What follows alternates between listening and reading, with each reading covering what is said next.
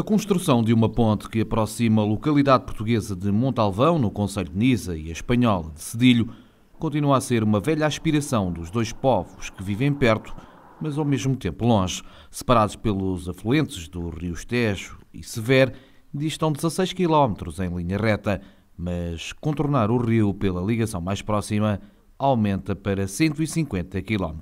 A obra já esteve projetada e seria assumida pelos responsáveis espanhóis, mas a última mudança de governo travou as aspirações dos habitantes da região.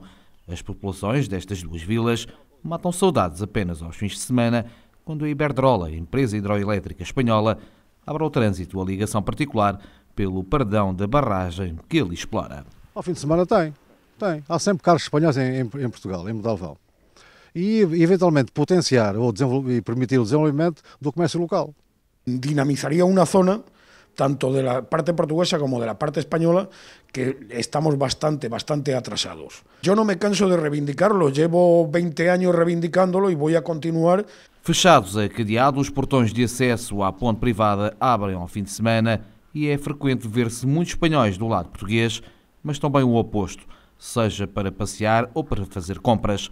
Do lado espanhol não há posto de combustível e abastecer do lado português é alternativa a percorrer mais de 50 km até à bomba mais próxima, em Valência de Alcântara.